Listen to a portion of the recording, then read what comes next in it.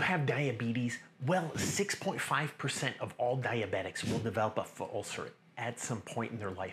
And guess what? 40% of the Western and now Eastern world is pre diabetic. 10 to 15%, depending on the country, is true diabetics. This is crazy. So, this is a video you definitely want to check out. We're going over the treatments and what you should be doing if you're a diabetic, and we're starting now.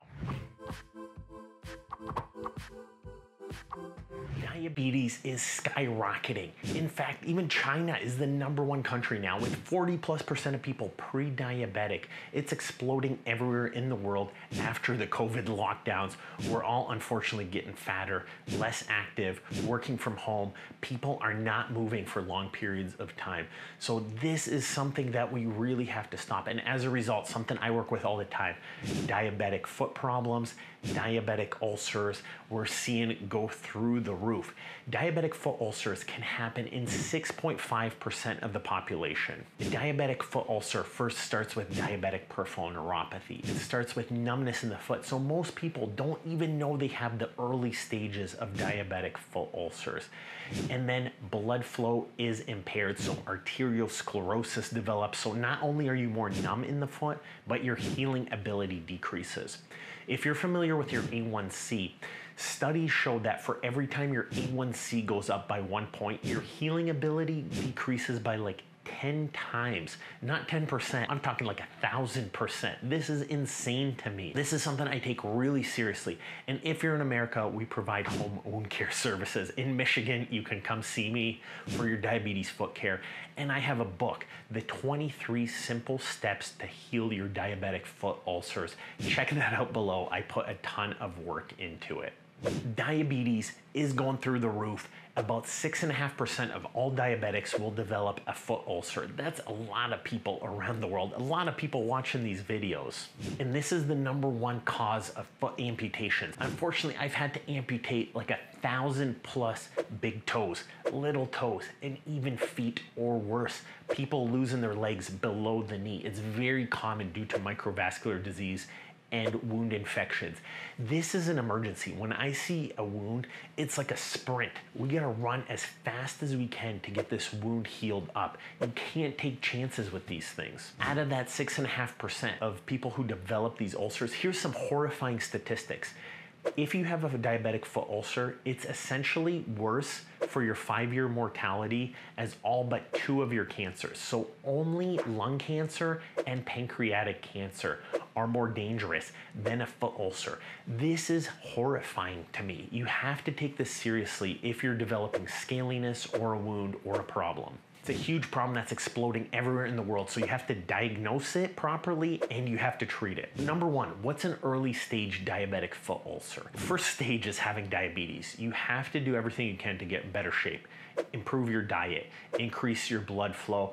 I have videos on arteriosclerosis, diabetic diets, diabetic skin conditions, all of that below. Check those full guides. I've put a ton of time in these. I'm not asking you for any money. They're all free guides because I hate this disease and I want it to get better for the majority of people watching these videos. Early signs of a diabetic foot ulcer. If you have redness, swelling, warmth, if you feel with your hand and it feels warmer, or a callus or a corn, that's even considered an ulcer or a pre ulcer. If left untreated, this can progress to a more severe stage where now red, meaty tissue is seen. This can lead to infections. Anytime you have a small cut or wound, bacteria can get in there, it can get infected, it can lead to hospitalization.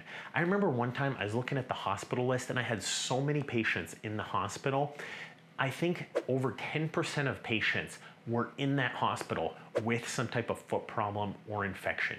That's a huge amount. So make sure to use a mirror, inspect the bottom of your feet. The first thing you gotta do is diabetic ulcer treatment. So I could go over prevention all day. In fact, I have a book about it. But good shoes, good diabetic insoles, good support, good socks, compression, get your blood flow tested, get your diabetes under control, get your heart under control. Get some exercise, get some strength training. All this stuff makes a massive difference in preventing the progression and speeding up your healing. But when it comes to the specific ulcer, you need wound care. This is an emergency. Do not try this at home. Every insurance and healthcare around the world covers diabetic foot care because it is so important and it can lead to an amputation. So the first thing we do is clean up the wound. So in the office, we use alcohol, we'll clean it up, clean off any bacteria, any loose, dead, dry skin, clean off that callus we'll put dressings on it. So we have a lot of advanced dressings. There's creams, there's ointments, there's padding, but the single biggest thing is you have to maintain moisture. If it's too wet, the skin edges can keep ripping. If it's too dry, it can get crusty, rip, and get damaged. You have to let that moisture leave, but you need some moisturizing lotion around it so it's not hard or too scaly. The next thing you want to do is offload. So, number two, offload. You should have absolutely no pressure on that wound.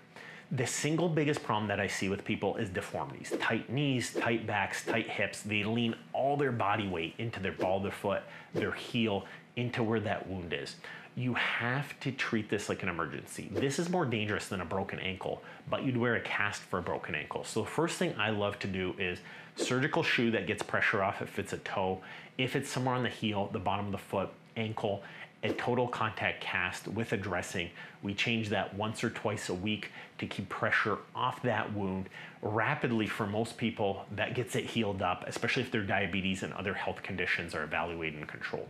And just to be clear, I mentioned this earlier, you have to get those health conditions under control. If your blood sugar is through the roof, you have zero chance of healing your wound if your blood flow is blocked, you have 0% chance of healing your wound. Those things have to be addressed by your doctor as well. Again, we do that in clinic and we even have people come out to the house to help with this. You have to make sure the infection's under control. If it's red hot, swollen, you need an antibiotic. You need that area flushed out, cleaned out. That's very important. Get that blood sugar under control and debridement. So surgery for a wound is kind of cleaning it up. That makes a big difference. Other things that can help are advanced therapies. So really popular now, and we do a lot of this, are growth factors and skin substitutes. It can be covered by insurance in the vast majority of the cases. So if you have a big wound, getting a skin graft on there if it's slow to heal or not healing. So if you've had it for more than a month, a skin graft can help. A wound vacuum can help. So getting a wound vacuum on there can make a big difference. Getting pressure off that wound, very, very important. If that helped, check out that book, 23 Simple Steps to Heal Your Foot Wound. Get that checked out. We have home care services all throughout America. See if we cover your area. And if you're in Michigan, I would love to come see you. This is what we specialize in. Come check me out, give me a thumbs up, or tell me if I'm missing something. If you need some more advice or specific videos, I'd love to do that. Tell me down below.